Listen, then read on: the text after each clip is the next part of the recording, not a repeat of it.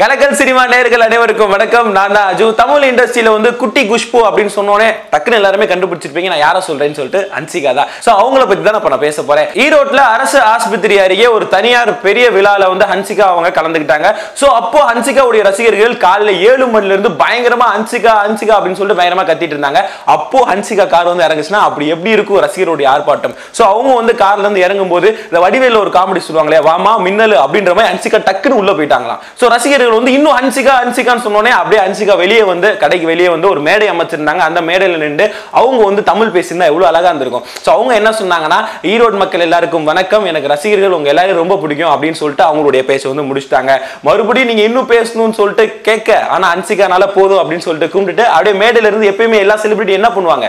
Selfie தான் எடுப்பாங்க. So உடனே எல்லாரும் மாதிரியும் அவங்களும் அப்படியே ஒரு அழகா ஒரு செல்ஃபி எடுத்துட்டு அப்படியே அவங்க உள்ள போயிட்டாங்களாம். ஸோ அவங்க வந்துட்டு போனதை தொடர்ந்து கிட்டத்தட்ட ஒரு ரெண்டு மணி நேரம் அந்த அரசு ஆஸ்பத்திரி ஆஸ்பத்திரியை சுத்தி பயங்கரமான ஒரு டிராஃபிக் பயங்கரமா சூழ்ந்துருச்சு.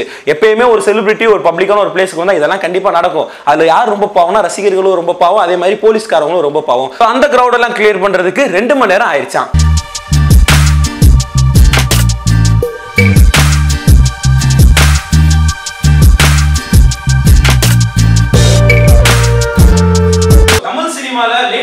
அப்படின்னு சொன்னாலே நயன்தாரா தான். அடுத்தடுத்து நிறைய படங்கள் பண்ணிட்டு இருக்காங்க. ஸோ சமீபத்தில் வேலைக்காரன் படம் நடிச்சிட்டு இருக்காங்க. அந்த படம் வெளிவர காத்துட்டு இருக்கு அதை தொடர்ந்து நயன்தாரா அவர்கள் வந்து ஒரு தனியார் நிகழ்ச்சிக்கு ஒரு பேட்டி கொடுத்துட்டு இருந்தாங்க. அப்போ நடிகர் சிவகார்த்திகேயன் வந்து ஒரு ஃபோன் பண்ணியிருக்காரு. ஸோ அவர் நயன்தாரா இடத்துல என்ன நயன்தாரா நானும் ரவுடி தான் படத்துல வந்து ரொம்ப சூப்பரா நடிச்சிருந்தீங்க நல்லாவே நடிச்சிருந்தீங்க அப்படின்னு சொல்லிட்டு ஒரு கேள்விக்குறி வைக்க உடனே நயன்தாரா சிவா இன்னும் வேலைக்காரன் ஷூட்டிங் பாதி இருக்கு பாத்துக்கோ அப்படின்னு சொல்லிட்டு அவங்க ஒரு கொஸ்டின் மார்க் வச்சிருக்காங்க.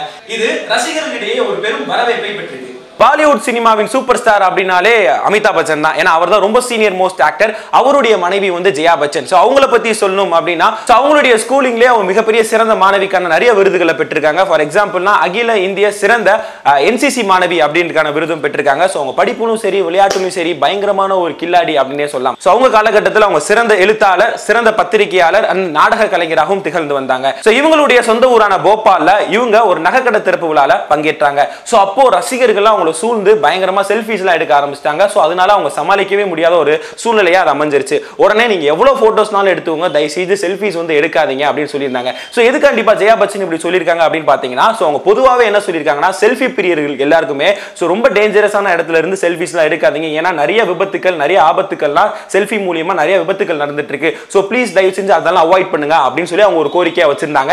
இதை ரசிகர்கள் ஏற்பாங்களா அப்படின்றது ஒரு கேள்விக்குறியா தான் இருக்கு. அதை தொடர்ந்து அவங்க ரசிகர்கள் என்ன சொல்லியிருந்தாங்கன்னா அடிக்கடி சொந்த ஊரான போபாலை நீங்க மறந்துடாதீங்க. நிச்சயமா நீங்க அடிக்கடி எங்க ஊருக்கு வரணும் அப்படின்னு கேட்டுறாங்க. ஸோ செல்ஃபி பிரியர்கள் எல்லாமே பயங்கரமாக ஆச்சரியத்தில் இருக்காங்க. என்னப்பா செல்ஃபி எடுக்கக்கூடாதுன்னா எப்படி நாங்கள் என்டர்டைன்மெண்ட் பண்ணுறது எப்படி நாங்கள் வந்து அதிகமாக ஃபோட்டோஸ்லாம் போடுறது அப்படின்னு சொல்லிட்டு அவங்க யோசிச்சுட்டு இருக்காங்க ஒரு பக்கம்.